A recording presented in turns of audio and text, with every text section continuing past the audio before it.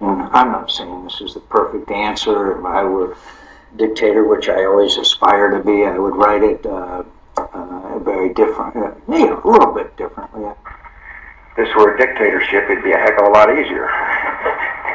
Just so long as I'm the dictator.